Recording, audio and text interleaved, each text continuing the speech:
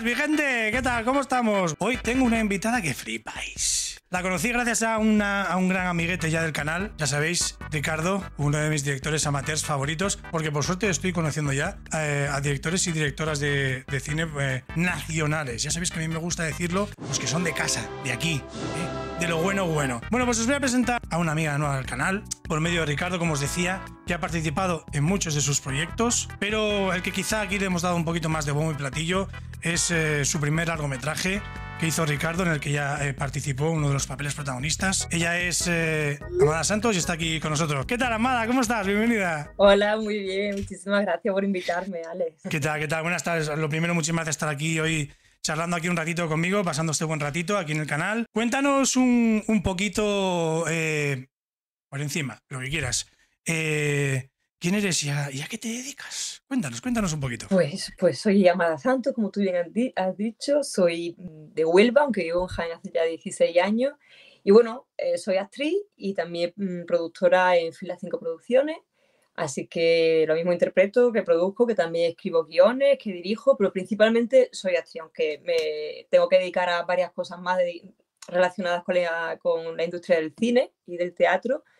Pero bueno, me, mu- me mu- muevo ahí en ese mundo de, de la farándula, ¿no? Digamos, un poquito. ¿Cómo me gusta ahí ese, ese, ese rollito y tal? La farándula, el artisteo, ¿cómo me gusta a mí? Está genial. Así que tocas bastante, bastante dentro de lo que es el mundo de- del cine, del cine en general, del teatro, bueno, de la actuación, vamos a decir así, tocas bastantes palos. Actriz, productora, guionista. eh, bueno, no quiere decir lo de que también se dedica a sonido y iluminación para no dejarnos mal al resto. Yo siempre suelo preguntar así un poquillo cuando os tengo a, actores o actrices, eh, a guionistas, a, a directores. Siempre tengo un poquillo la misma pregunta.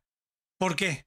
¿Cuándo? ¿Qué fue el día en el que dijiste tú, esto, esto es para mí, esto, esto, esto, me encanta esto, yo quiero ser, yo quiero ser actriz, yo quiero estar aquí y tal? ¿Cuándo fue? Pues es que lo mío fue muy divertido porque yo realmente creo, o por lo menos no fui consciente de que nunca pensé en ser actriz porque me da un pánico increíble. Yo vi a mi hermano de jovencilla que en mi pueblo, en San Juan del Puerto, de, de Huelva, que estaba en una compañía de teatro que se abrió allí en el pueblo y tal, y vi a mi hermano con otras amigas que estaban ahí actuando y me parecía eso como, Dios mío, qué vergüenza, o sea, lo pasaba mal por ello, ¿no? Entonces mm, yo era muy, muy, muy, muy corta y lo sigo siendo, aunque luego he aprendido a disimularlo.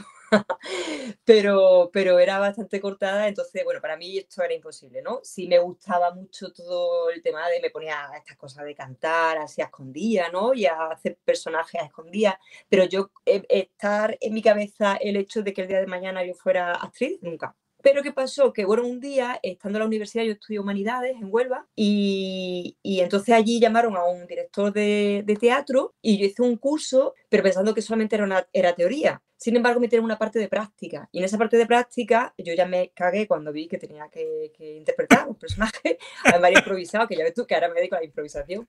Sí, sí, Y sí. era improvisado.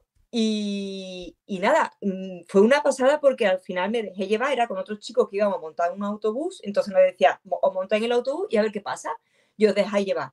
Entonces, pues eso hice y, de repente la verdad que yo me vi que estaba, se me olvidó todo lo que estaba alrededor y estaba con ese chico en el autobús y, y creando una historia en ese momento. Y el chaval también lo hacía muy bien y también entró ahí al tema y fue una experiencia como muy impactante, ¿no? Se acabó ese momento y el director se quedó callado, todo el mundo callado. Yo digo, madre mía, era tú, madre mía, me voy a tener que ir corriendo para casa, qué vergüenza, no sé qué. Total, que el hombre se quedó ahí callado y me dijo, empezó a aplaudir, dice, me lo he creído. Y estaba como muy impresionado, porque se había creído eso que estaba pasando, ¿no? Entonces, eso quedó ahí, él me, llevó- me llamó, me llamó para, para hacer un personaje, una obra de teatro, que yo estaba estudiando y en ese momento no podía dejar la carrera para hacer Ujú. esa obra de teatro y lo dejé ahí. Y entonces se fue en Huelva. Y ahora me vine a Jaén y en Jaén fue una cosa muy curiosa porque dije cuando llegué voy a hacer algo para distraerme, estaba trabajando en comisiones obreras Sí. y eh, me puse a hacer cola en una cosa que se llama un edificio que se llama la Universidad Popular porque había una actividad que era aeróbic. Ah, mira tú, o sea, todo, ¿os dais cuenta de que va todo hilado, gente? O sea, todo, todo conectado, ¿eh?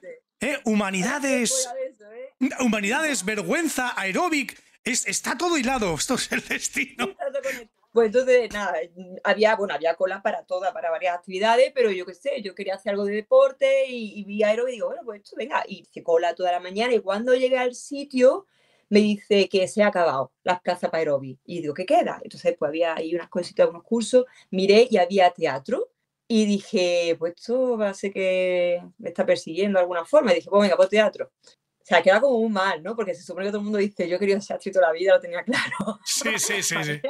queda como un poco, ya no puedo cambiar de discurso porque lo he contado varias veces, así que ya no Rompiendo moldes es lo que hay, no, no os preocupéis, no os preocupéis, es lo que hay. Aquí no pasa nada, no pasa nada. No pasa nada, así que ha sido así. Y nada, Claro, claro. que es verdad, pero yo porque me da muchísima vergüenza, o sea, para mí eso era imposible, pero no sé por qué ahí me dio la neura y dije, venga, para adelante. Te lo iba a decir antes, pero no es la primera vez que de actores, va- vale, con carreras muy dilatadas, con todo el renombre que tú quieras dar, que muchos lo dicen, dicen, no, no, yo realmente soy muy tímido, me da mucha vergüenza esto, lo otro, tal y cual, y dices tú, es como, no, bueno, y delante de la cámara y tal, digo, bueno, ya, pero ¿qué tendrá que ver estar hablando delante de una cámara? O bueno, ya ha llegado un momento delante de un público en un teatro, ¿vale? Que también, que cuidado, yo para mí eso es mucho más difícil que estar delante de una cámara, ¿eh?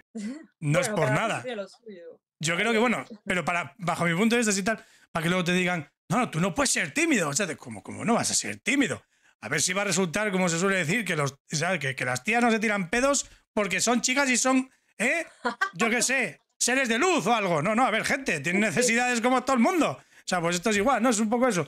Entonces, choca, pero es algo muy común que se escucha eh, a actores y actrices siempre. El tema de, de, no, yo, oye, pues tengo vergüenza y tal. Bueno, pues mira, una más, gente, ya sabéis, es muy habitual. Sí, Y sí, sí, son- La gente que sea tímida, que ya sabe que, que son capaces de ponerse en un escenario, de ponerse detrás de una cámara y que seguro que tienen un talento por ahí escondido, fenomenal. Yo cuando veo gente tímida digo, "Mm, esta persona me interesa, porque siempre tienen ahí como un mundo muy especial. Y nada, bueno, pues eso, yo me apunté a este curso de forma amateur y al final empecé a- con los cursos, empezaba a hacer obras de teatro, y, pero todo amateur, pero me empezó a gustar tanto que al Mm. final acabé dejando mi trabajo y metiéndome más profesional, más profesional, hasta que monté mi productora y ya me puse también con el cine, aparte del teatro, y bueno, ya me dedico a eso.